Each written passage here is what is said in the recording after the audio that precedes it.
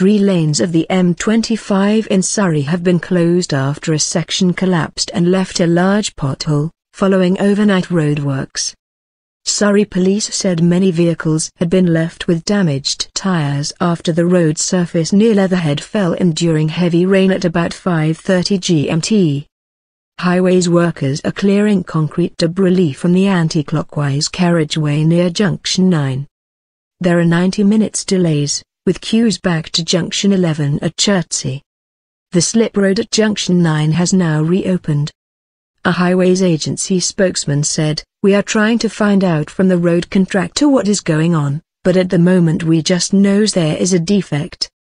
The agency said police and repair specialists were at the scene, but it advised road users to consider alternative routes.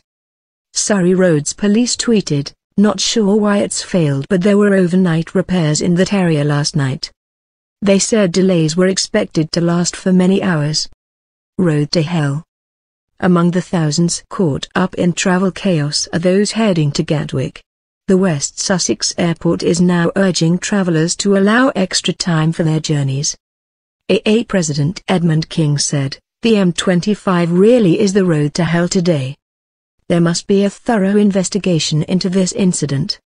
It is disappointing that not only did the road fail, but it placed many drivers in danger and also reportedly damaged a number of vehicles. If this happened on the railways, passengers could claim compensation. As it has happened on the roads, drivers just have to put up with it. Alex Goodwill tweeted, punctures galore thanks to pothole on M25 at Leatherhead.